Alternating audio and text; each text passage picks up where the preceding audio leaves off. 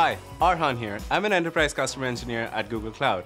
And hi from me, Priyanka. I'm a customer engineer and I help Google Cloud customers understand their big data.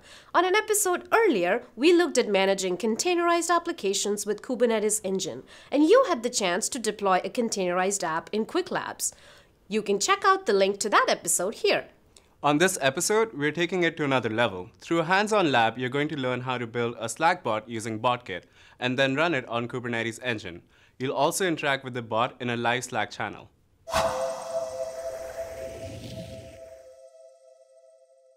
Okay, so a quick recap on Kubernetes Engine. Containers address the problem of how to easily and consistently deploy apps in different environments by allowing them to be broken into smaller independent pieces. These can then be deployed and managed dynamically. Containerization also allows the separation of apps from infrastructure. Leveraging Google's infrastructure, Kubernetes Engine provides the perfect managed environment for deploying, managing, and scaling your containerized applications. By simply describing the compute, memory, and storage resources your app's containers require, Kubernetes Engine automatically provisions and manages the underlying cloud resources. In this lab, creating a cluster on Kubernetes Engine will ensure that it adds a new node to your cluster if your pods don't have enough capacity to run. Conversely, if a node in your cluster is underutilized, Kubernetes Engine can delete the node. You'll also use Kubernetes Engine to create a deployment.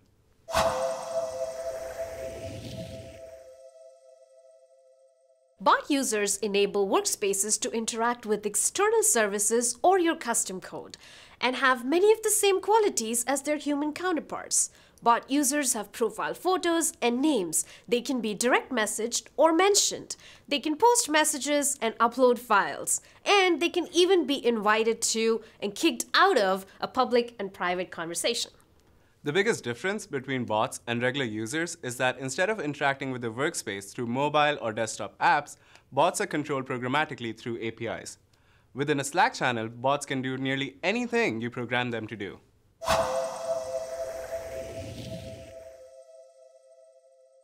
Alright, time for Qwiklabs. In this hands-on lab, you are going to create a bot that posts a simple message.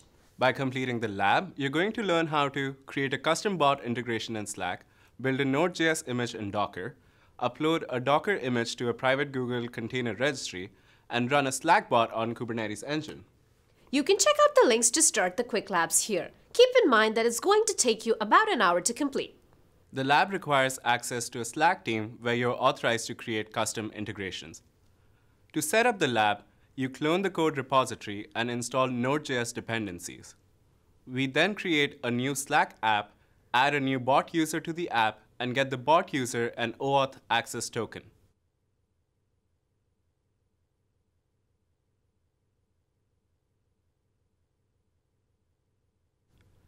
We edit the Node.js file with the OAuth access token. We run the bot.